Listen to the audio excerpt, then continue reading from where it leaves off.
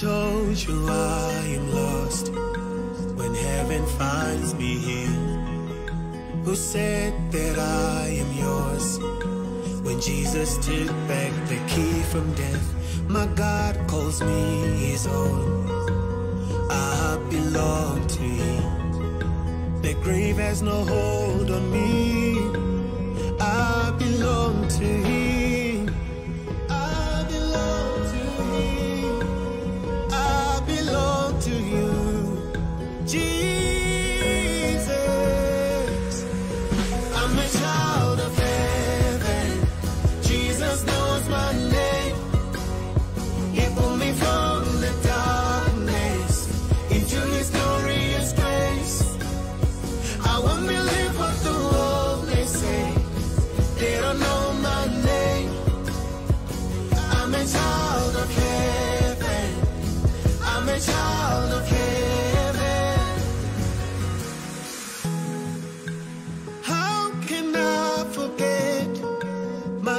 God, you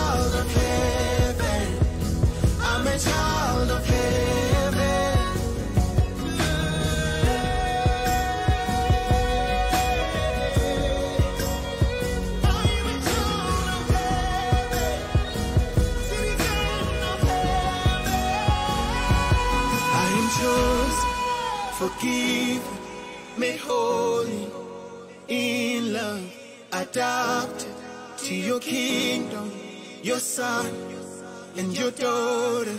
I am chosen, forgiven, made holy, in love, adopted to your kingdom, your son and your daughter.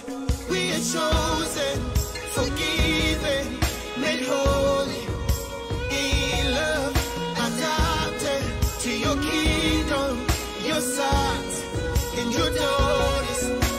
chosen,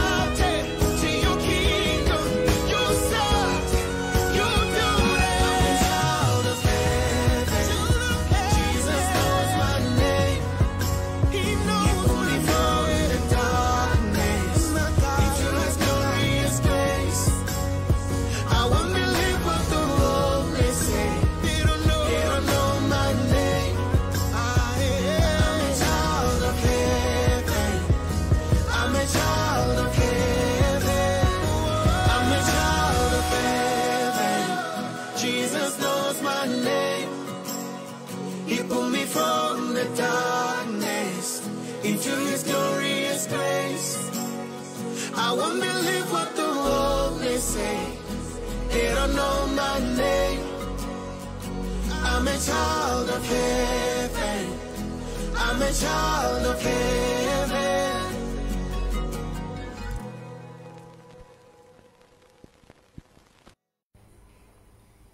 Greetings once again. Thank you for joining us. Um, it is the time, uh, Sunday once again, for us to worship and glorify our Father. I just want to welcome everyone has joined us online for this wonderful day. Um, before we continue with our message for today, I just want to wish all the fathers out there a happy Father's Day.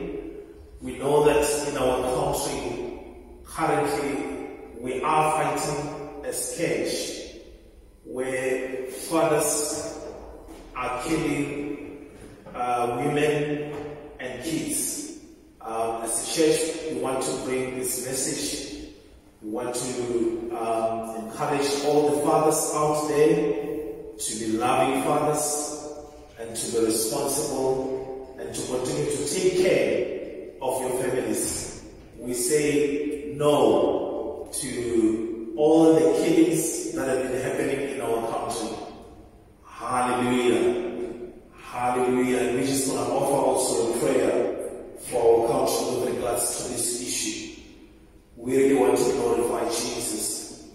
Um, last week we shared the word of God and we spoke um, under a topic that says it is for your benefits, it is for your advantage that I go away to the Father. I believe that you were blessed. Um, we did receive a lot of feedback regarding that message. Uh, we really thank God for what God is doing. Um, for this wonderful morning, I do have a word that I believe that it is the word for this hour. It is the word that God has put in my heart that I want to share with you. Um, we are going to go to um, to read the words, um, and then I'm going to pray um, afterwards. The I'm going to use our scripture for today. It's um, First Corinthians uh, chapter two. Uh, you can just note it from verse nine to sixteen, uh, but I'm going to just read verse fourteen. Um, and we're going to just go back and read uh, also First, First Corinthians uh, chapter 1, uh, verse 10 and 11. We shall use this an intro. Let's read um, First Corinthians chapter 2, verse 14. It reads as follows.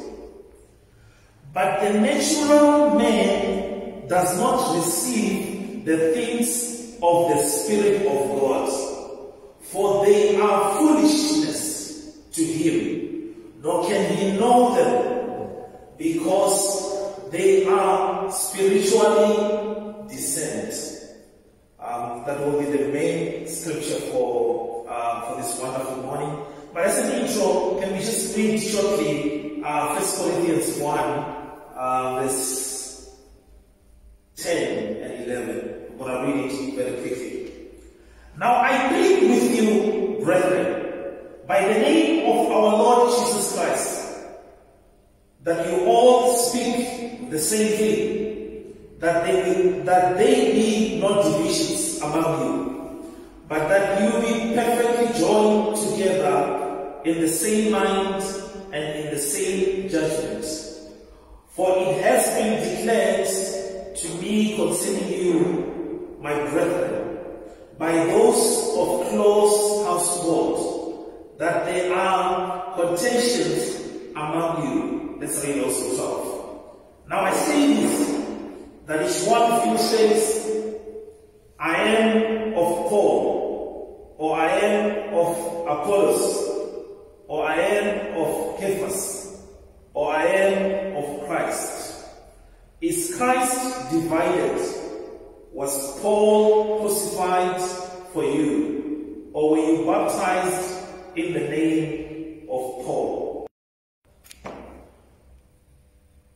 Let us pray. Father God, Holy Spirit, we welcome you as we have read your word this morning. Father, we acknowledge your presence. We thank you for the reading of your word in the mighty name of Jesus. We say, Father, take charge, Holy Spirit, at this moment. Father, we thank you because you are our helper, Holy Spirit. Without you, we are nothing. We give it all to you, Father, at this moment. We say, take charge of every situation. Take charge of this moment onwards. In the mighty name of Jesus, I also want to just pray for our country, South Africa. We pray, Father, against the disease that is killing people. We pray also, Father, against the scourge that we see in the mighty name of Jesus. When men in this country are killing their women, in the mighty name of Jesus, we stand up against this demon. We stand up against the spirits and we nullify its power in the mighty name of Jesus. We speak peace in families. We speak peace in marriages. We pray, Father, for the move of God in the mighty name of Jesus. We say, Father, take charge of all the fathers. Father, in the name of Jesus, we say whatever problems that they may be encountering, in the name of Jesus, we thank you, Father, that killing someone doesn't equate um, in the name of Jesus the solving of the problem. We pray in the mighty name of Jesus, we trust you that our, there will be peace in our country, that there will be peace everywhere we go. In the mighty name of Jesus, because you are the Father, and we thank you that the families, Lord, are going to be restored into believing into you, Father. In the mighty name of Jesus, we trust you. Amen. Hallelujah. We just want to continue with the message. Um, the word for this morning, as I introduce the topic to you, um, we're going to be talking under the topic that says, For they are spiritually discerned. The things of God are spiritually discerned. Uh, so the topic for this morning, for they are spiritually discerned. Um, we have been um, uh, talking over the last three weeks or so about Paul. So even this morning, uh, God is still directing us to the ministry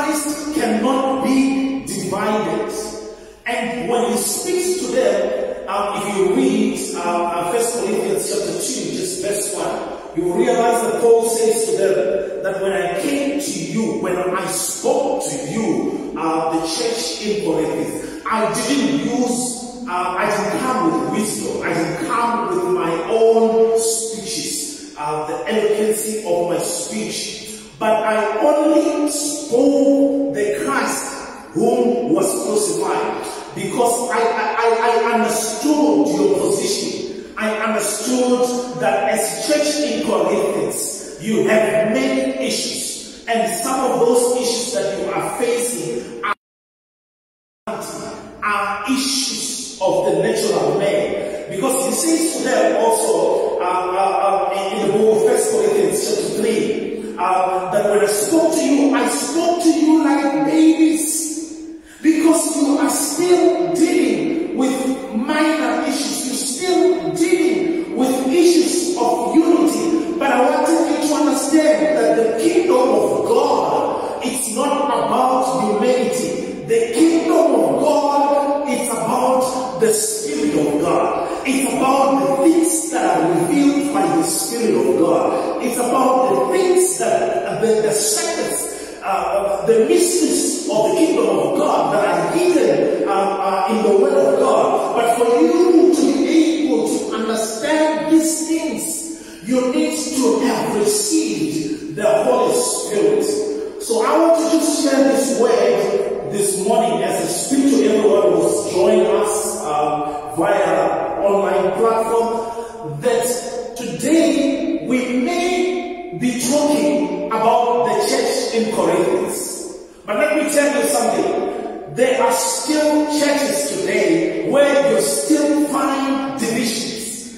There are still churches today where you still find people saying they are of this person or they are of this this minister or they are of this pastor. But let me tell you something. If you are a child of God, you need to understand that there is only one God. You cannot, the God cannot be divided. Christ cannot be divided. And all of us who believe in Christ Jesus, we need to be united in faith. We need to be united in the message that we teach the people. So I want to just share this word with you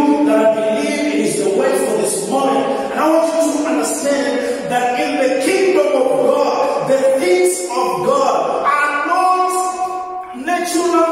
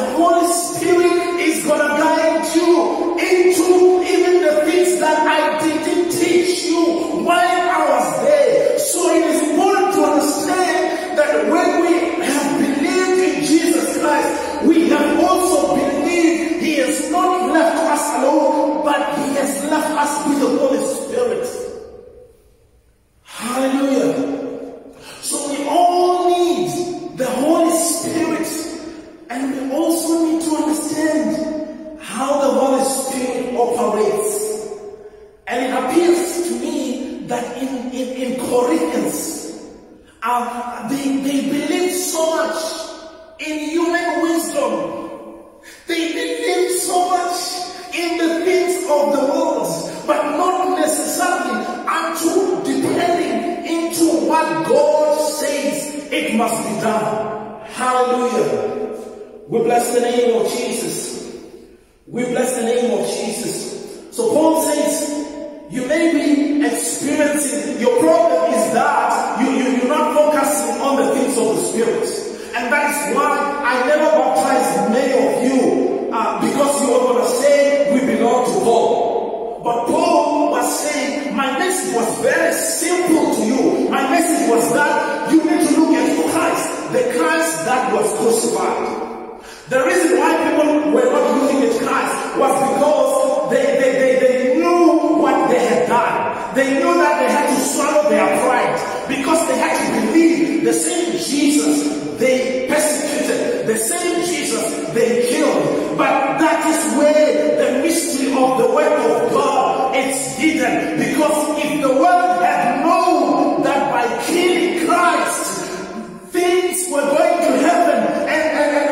Christ was not going to die, they were not going to do these things. And that is why the Word of God tells us that the, the, the things of the kingdom of God is foolishness to those that are perishing. It is foolishness because when they look at a pastor who's standing and preaching the Word of God, they think, what is these things? Don't these people have time to do better things? But we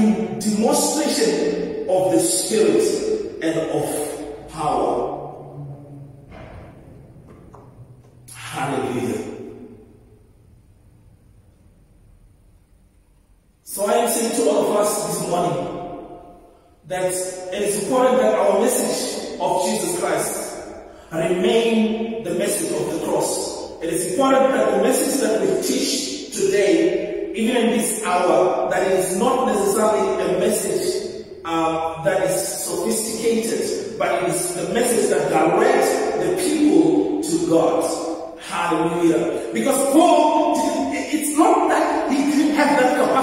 to reason with them about human matters. It's not that he didn't understand that he could have convinced them using other te techniques or other skills, but he understood that this was not about him as all. So it's not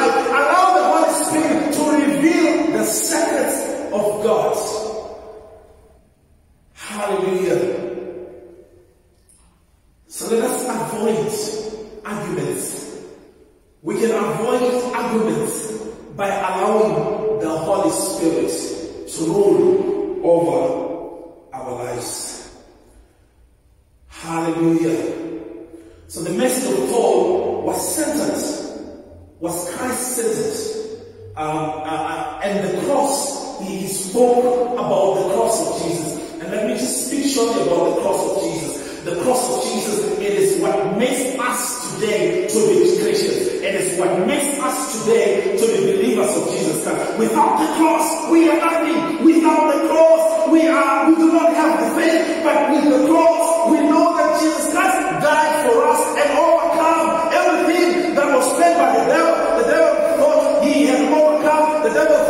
he had gotten the human race, but Jesus Christ came and submitted to the Father and came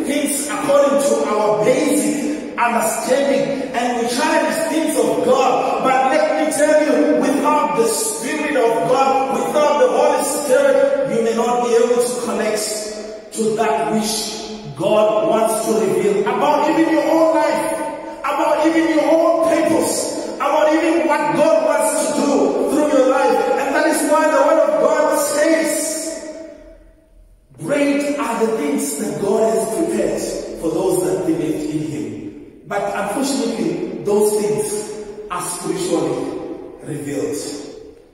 Let's just read uh, 1 Corinthians uh, chapter 6, um, just reference verse 19.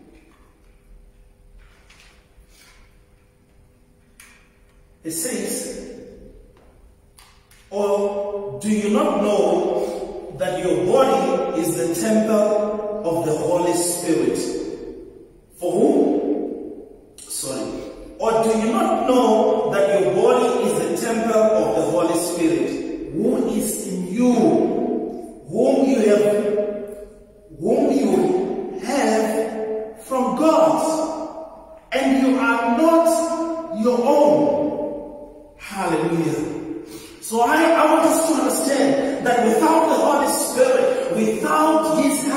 without the ministry of the Holy Spirit, it is impossible for us to grasp into the things of God. Hallelujah. But when we have the Holy Spirit, we are able to understand even that which Christ has said in His Word. Because the Word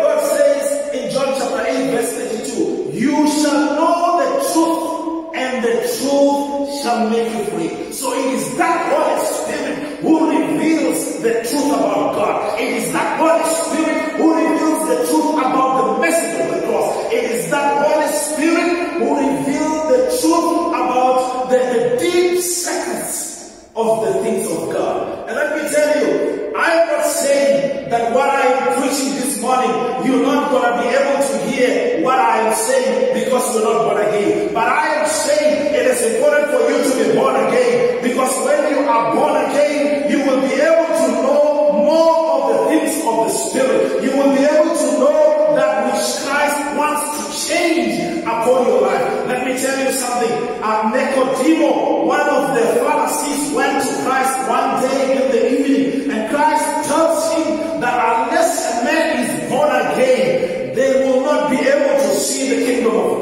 And Nicodemus discussed this with Jesus Christ, and he says, Is it possible for me to go back to my mother's home? But Jesus Christ was not talking about him being born again in the natural. He was talking about the things of the Spirit. That in order for you to know the things of the Spirit, you got to be born again. You got to receive the Holy Spirit. And that is why Paul, when he was teaching oftentimes, he would always ask, Have you received the Holy Spirit? And I want to just speak to you. Maybe you have not been taught about the Holy Spirit. I want to speak to you right now that you need the Holy Spirit. That the Christian journey doesn't depend on human power, but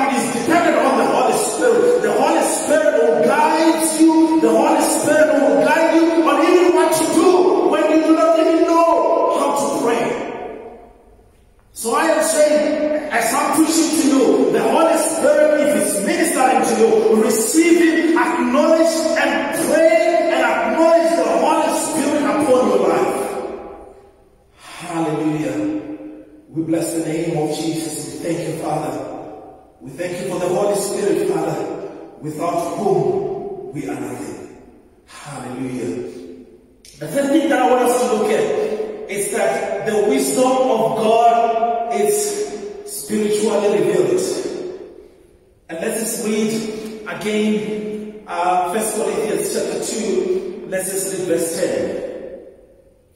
It reads as follows. But God has revealed them to us through His Spirit. For the Spirit searches all things. Yes, the deep things of God. For what man knows the things of a man except the spirit of the man which is in him? Even so, no one knows the things of God except the Spirit. Except by the Spirit who is from God. Hallelujah. Blessed be the name of Jesus. So I just want to tell you this morning that is important in your journey as Christian that we are not carnal, that we are not dependent, uh, that we find in us or in our churches that, or, or in our circumstances or wherever we are, that we are found to be people of the Spirit who understand that the things of God are the things that are revealed in us. Hallelujah. I always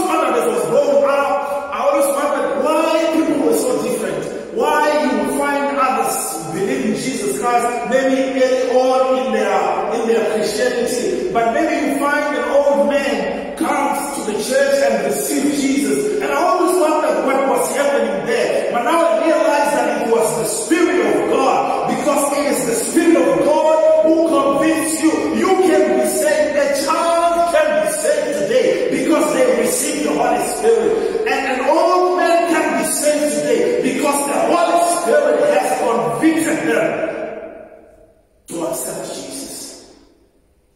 So these things are revealed and they are not of human wisdom. Hallelujah. And that is why Paul always encouraged people that I am not using my own uh, uh, wisdom, that I am preaching that which God wants you to hear. And I want you to understand that only Christ who was crucified. So you need to also understand that also when you read the, the, the, the Word of God, sometimes people can read the Word of God without necessarily understanding what is it that God is saying. But I want you to know that when you are reading the, the Word of God, allow also the Holy Spirit to help you. Sometimes just take a moment and just pray and say, I ask you, Holy Spirit, to help me to reveal the secret, to reveal what you want me to know as I'm reading the Word of God. Hallelujah.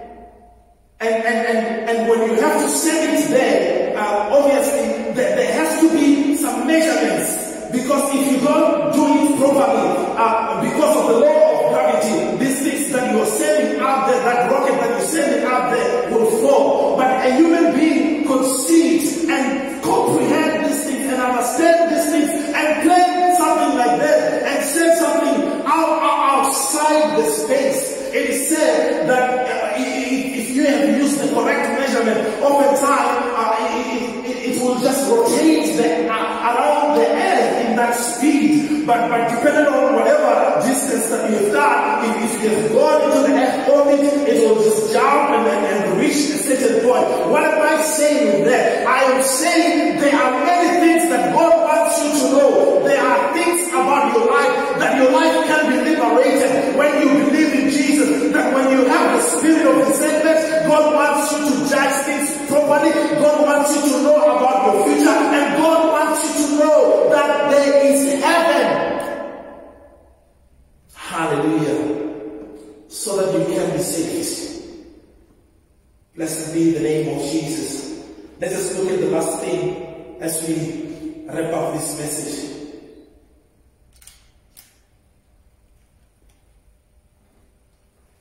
The fifth thing is that the person without the Spirit does not accept the things that comes from the Spirit. And let us read John chapter 3 uh, as we wrap up this message. Um, I just have one more verse that I want to read for you as I conclude. And I think we've already spoken about this verse, um, which says, John 3 verse 6, that which is born of the flesh is flesh, and that, is, that which is born of the Spirit is spirit. So without the Spirit of God, we are nothing. We cannot use our knowledge, the human, the human nature, the unspiritual person cannot comprehend that which comes from God. Can I just use this verse as we conclude? If we can just go to the book of Jude, I want to just wrap up uh, the book of Jude, uh, chapter 1. Uh, let's read maybe from verse 16 as I conclude this message. It reads as follows. These are grumblers, complainers, walking according to their own lust. They mouth great swelling words, flattering people to gain advantage. But you, beloved, remember the words which were spoken before by the apostles of our Lord Jesus Christ. How they told you that there will be mockers in the last time who would walk according to their own ungodly lust.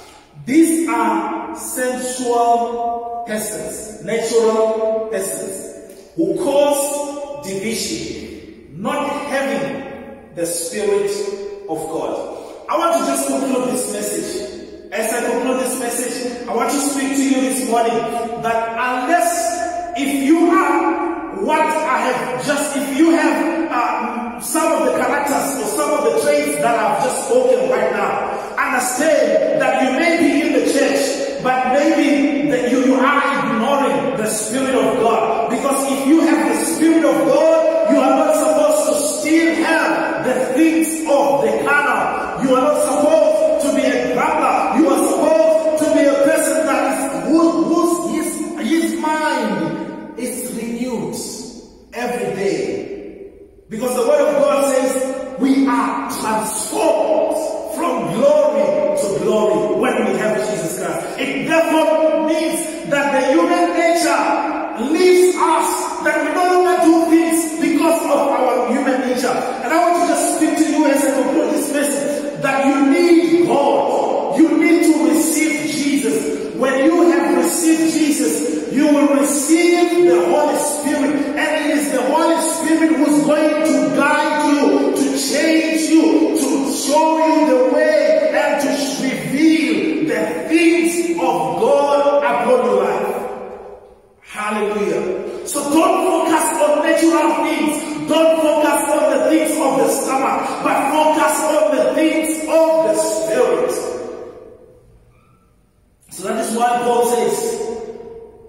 the things of God are foolishness to those that are perishing. But to those who have been called, they are life.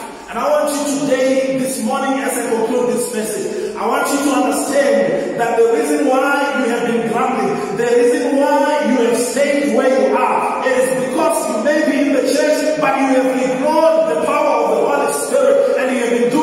on your own. I want you from today to ask the Holy Spirit to lead you. I want you from today to acknowledge that I cannot do things on my own. When you are there in the church, when you are ministering, let me tell you, it is not about talent. When you are in the church and you're speaking about Jesus, it is not about your education, but it is about that which the Spirit of God wants His people to know. It is that which God wants the world, because who convicts sinners. It is Him who convicts liars to repent. And I want to just pray for you this morning, and I want you to just look at your state. You may not be in the church, but I want to speak to you if you are in the church. You may be one of those that were in the church like Corinthians, where things were done in the carnal way, where things were done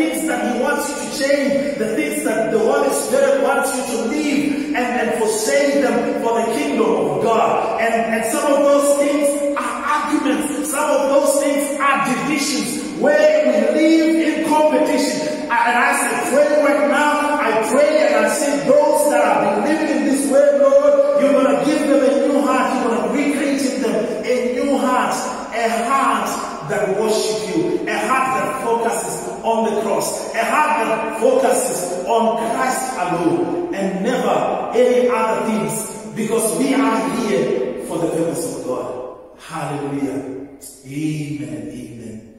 Be blessed. And I want to just encourage you. Um, let us continue to seek Jesus Christ. The, the fact that you are a Christian, it's not by mistake. It's because Jesus Christ has called you into his body. You are a child of God. Uh, don't be afraid. Uh, don't fear what the devil is doing. Continue to serve God. But remember, you are not natural. You are spiritual. Hallelujah. And the spirit that is in you will guide you. Blessed be the name of Jesus.